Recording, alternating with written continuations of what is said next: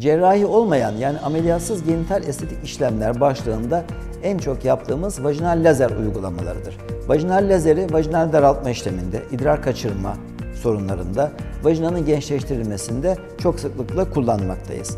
Buna ilave olarak ek olarak yapılabilen vajinal PRP uygulaması, platelletten zengin plazma uygulaması olarak geçmekte. Vajinal dokunun gençleştirmesinde.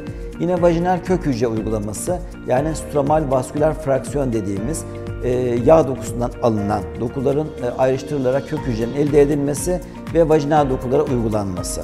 Aynı şekilde genital bölge dolgunlaştırmasında hyaluronik asit enjeksiyonları yine vajinal dokuya otodok yani kişinin kendisinden alınan yağ dokusunun bir işlemden geçirilerek e, uygulanması.